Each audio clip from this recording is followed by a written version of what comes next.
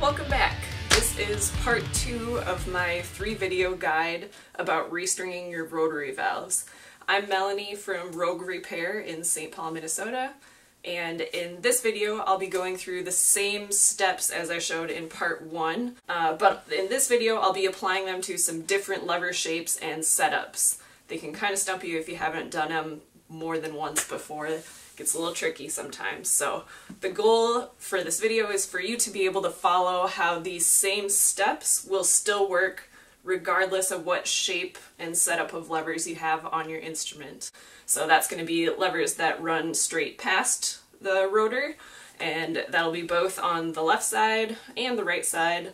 Uh, the right hand side you'll see from video one. You can go back and watch that again if you want some review. Uh, I'll also go over levers that curve around the rotor, so usually that's going to be French horn fourth valves, so your trigger valve. So those, I'll do both the ones that curve around in a clockwise and counterclockwise direction so you can see how those both work.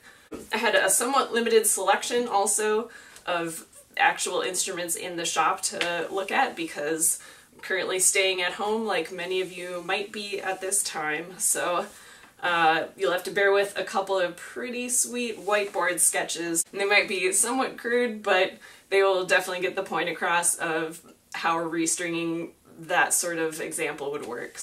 So there's nothing to be intimidated by with tackling some of these different lever designs or setups.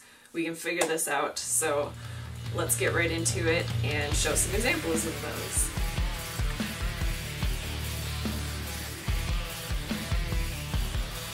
So the first one is going to be uh, just we did levers that were on the right hand side of the spindle, so we're going to do one that's on the left hand side, just so you can see it happen if you're sort of that visual learner who needs to see an example. So we'll do this relatively quickly. The old string is already removed, so I've got my new string here. Uh, and this is also a string which is thicker, which I trimmed to a point with a razor blade without burning it, just to use an example. So I'm going to get my face down here so I can see what I'm doing. But as you can see, it went right through that hole. Um, and we're going again from outside to inside. Straight up the lever arm here and over. And we're going to twist this loop again towards the stop arm screw. And this one has got a really wide screw head, so I'm not able to just quite slip it down. So in this case, I will thread it sort of figure eight style.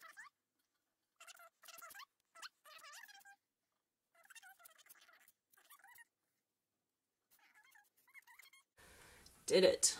So scoot the lever is sort of resting on something right now, so it's pretty close to where I want it to be. So I'll tighten this down. I'll also need a thinner screwdriver blade for this instrument. So I'm going to use my long, thin-bladed one. And snug down that stop arm string screw. Come around here, this horn looks like it'll be okay to go underneath, so I'm going to try that first. And our point is looking a little shaggy, so I'm just going to take some water and dress up the end a little bit. Still a little shaggy, but I think with that point, yep, got it through. And then We'll make our last loop here.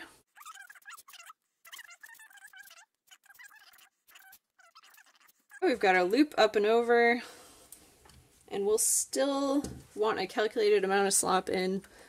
And I know just because of how the loop and how, which way I'm tightening the screw that I won't need quite as much, so I am using a smaller uh, spacer for that slack.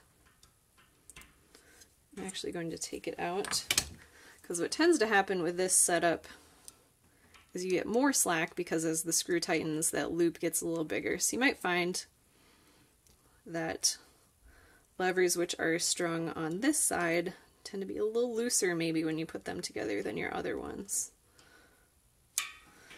And there we go.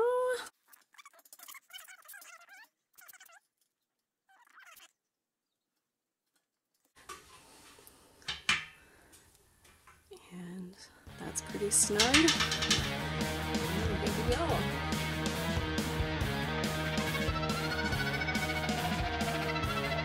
We're going to go ahead and replace the string on this thumb valve. Just want to point out, again, we have our cushion towels just in case. That's because I just had this second valve apart and the lever would have definitely hit the bell stem over here. And then on the fourth valve, you can see it doesn't have a cushion and that's because it pretty safely rests against the spindle here. The biggest thing though is you make sure you want to let this back gently because uh, you could actually bend the spindle if it was to hit that hard enough under the spring tension. You also want to always look over here for your paddle because not all these fourth valves are the same, which is kind of why I'm talking about this. So here we go, replacing the spring. It looks funny, it looks confusing because it's a weird different shape, but it really operates under the same principles as any of your other levers, uh, which is this is all one solid piece, just like this one, and it is moving alongside here and the stop arm is rotating along here. So it's really no different than, let's say, a valve over here, straight on, that would have the arm on the left side. So you can kind of think about it that way if it helps you. That's how I think of it. Uh, but if not, here is a straight up demonstration of how to replace the string on this one. So we're going to go from outside to in again through this hole in the lever. And again, once I get this string through, our first move is going to be towards the end of the lever here. And then we're going to wrap it around the stop arm string screw, make our loop with the tail coming out underneath.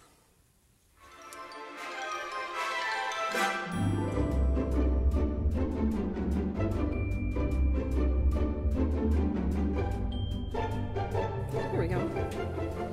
Just had a little trouble getting it to squeeze between there. Alright, so again, sort of holding the lever close-ish to where we want it to be. I'm going to go ahead and just tighten this stop arm string screw down. So I'm going to try it underneath and we'll see what happens. If the string is kind of crossing itself, contacting itself too much during the motion. Actually, it looks okay just as a test. We'll check it one final time once everything's all together.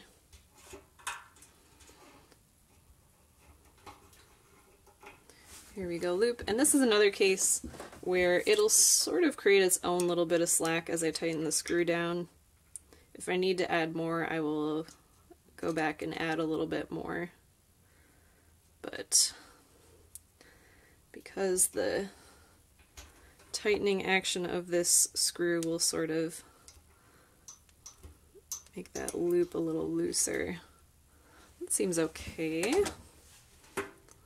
Yep, we've got full range of motion here. And uh, I don't have the camera on it right now, but that string where it crosses here, is not rubbing against itself too much, so I'm going to leave it be as passing underneath itself. And there you go, that's how the fourth valve gets strung on this horn.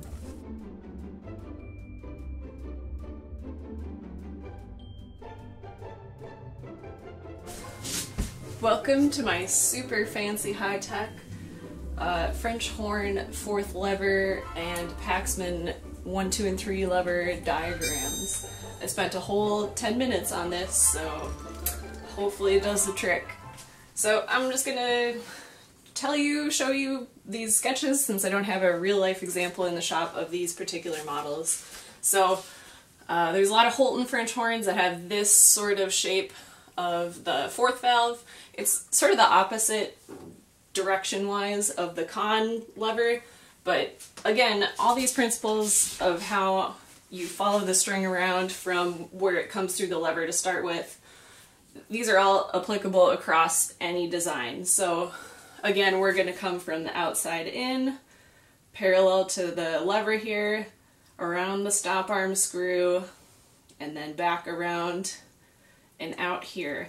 And uh, using this as an example, if you're ever not sure of which end the stop arm should be starting on, just remember that the lever arm end and the stop arm screw are moving in opposite directions when the lever is being activated. So, so you can imagine the spring, if the spring is pushing your lever this way, then that means at rest the lever end is going to be moving this way. So follow my hands like this.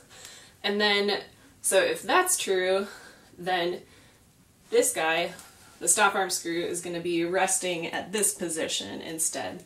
So that's how you can choose, decide rather, which place it should be sitting when you start restringing your valve. It'll save you having to kind of pick up a bunch of extra slack or let out a bunch of extra slack as you go.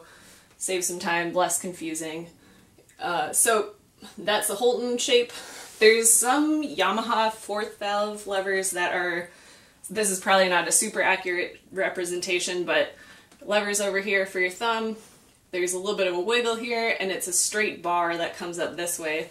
The newer models have an articulated arm here, so there's basically just a hinge uh, in place over here. So that's sort of the Yamaha fourth valve. Not all of them, some of them. The Geyer wraps, of course, will have the fourth valve down past the third valve. So Paxman levers, they have this cool kind of crocodile I don't know about cool, but it's how they make them. Uh, a little crocodile mouth at the end of your lever, so that's basically just this part turned 90 degrees sideways. Here's your string screw, just for visualization's sake. So on these guys, the string sort of rests right in here. So uh, it wraps around the end instead and that's where it goes on Paxman levers. So since I don't have real examples, uh, I am going to show you with the marker where the string would go if I was doing it. So uh, it's just going to be me tracing a brown colored line through a blue colored sketch. So here we go.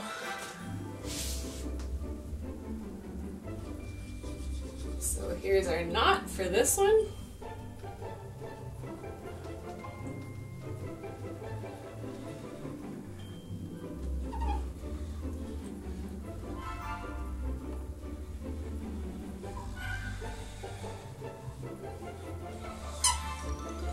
And you'll just have to imagine all my crossing underneath at the screws.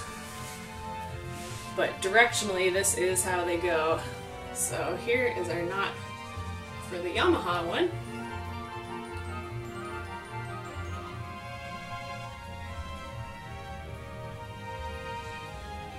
And underneath. And through.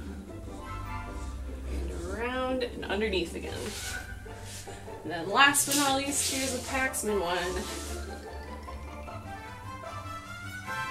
There's our knot through.